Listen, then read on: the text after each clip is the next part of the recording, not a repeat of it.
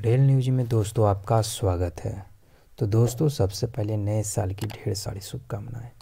इस नए साल में नए उमंग के साथ नए शुरुआत करें। तो दोस्तों, कुछ दिन पहले यूट्यूब कम्युनिटी में मैंने पोस्ट किए थे कि रेलवे न्यूज़ क्या आप लोग देखना पसंद करेंगे, जिनमें से सौ परसेंट लोगों ने बताया कि जी, मुझे ज़रूर देखना। तो फिर मैंने सोचा क्यों ना नए साल में नए रेलवे न्यूज़ के स्टार्ट किया जाए। तो दोस्तों रेलवे न्यूज़ का फ़र्स्ट रेल न्यूज़ है, जो किसी वीकली हर संडे को इस चैनल पर आपको देखने को मिलेगा। तो वीडियो स्टार्ट करने से पहले इस वीडियो का जो लाइक का एम है दोस्तों, वो है पचास। तो उम्मीद करता हूँ आप पूरा कर देंगे। तो वीडियो स्टार्ट करने से पहले जल्दी से लाइक करें। तो चलिए वीडियो स्टार्ट करते हैं।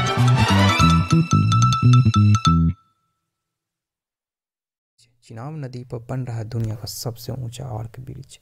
ये जो दोस्तों देख रहे हैं, चिनाब नदी पर तेरह से पंद्रह मीटर लंबे पुल की मेहराब की कुछ शानदार तस्वीरों को minister of state for railway द्वारा ट्विटर हैंडल पर पोस्ट किया गया था, जिन्होंने बताया कि एक बार पूरी तरह से पूरा हो जाने के बाद पुल नदी के तल से तीन मीटर ऊपर खड़ा होगा और ये पेरिस का आईफिल टावर से भी ऊँचा होगा, जिससे ये दुनिया का सबसे ऊँचा रेलवे ब्रिज को माना जाएगा।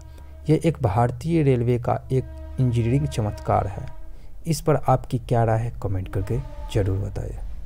अगली अपडेट की तो बात करें तो दोस्तों दरअसल पूर्व मध्य रेल में सेना, एक आर्मी एग्जामिनेशन की भर्ती परीक्षा को लेकर रेलवे की ओर से 11 मार्च तक कटिहार से पटना के बीच स्पेशल ट्रेन चलाई जा रही है।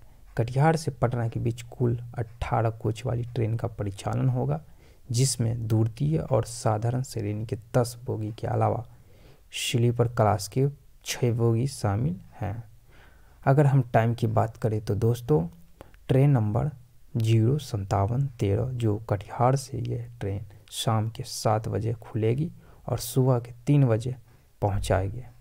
अगर हम वापसी की बात करें तो दोस्तों, ट्रेन नंबर ज़ीरो संतावन चौदह बन के पटना से सुबह के पाँच बजे खुलकर न्यू बरौनी होते हुए दोपहर के बारह बज के तीस बजे कटिहार स्टेशन पहुँचेगी। इस पर आपकी क्या राय है? हमें कमेंट करके ज़रूर बताएँ। अगर आप आर्मी के एग्जामिनेशन देने जा रहे हैं तो इसके लिए आप लोग को all the best next update की बात करें तो दोस्तों, चीन के बॉर्डर तक जाएगी बिस्टोम एक्सप्रेस ट्रांसपेरेंट विंडो और शीशे की छत से दिखेगा शानदार नज़ारा।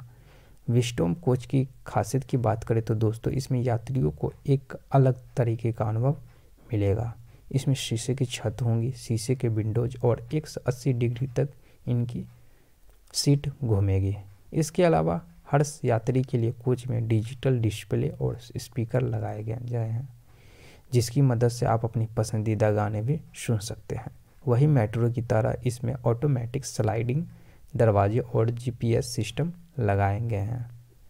तो दोस्तों, चौथी अपडेट की ओर आते हैं। तो दोस्तों, पूर्व के मध्य रेल के 405 स्टेशनों को निःशुल्क हाई स्पीड वाईफाई इंटरनेट कर दिया गया और अब कनेक्टिविटी से लेस के गया।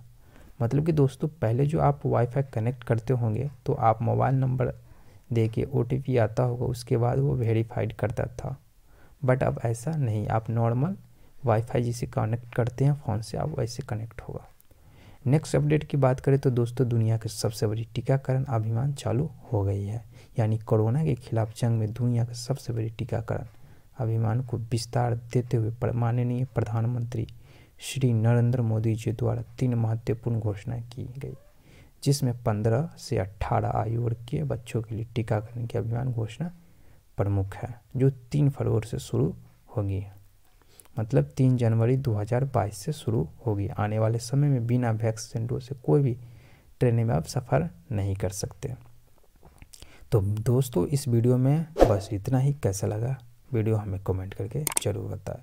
अगर अभी तक आपने इस वीडियो को लाइक, शेयर नहीं किए हैं तो प्लीज़ जल्दी करें। भारतीय रेलवे से जुड़ी जानकारी सबसे पहला पाना चाहते हैं।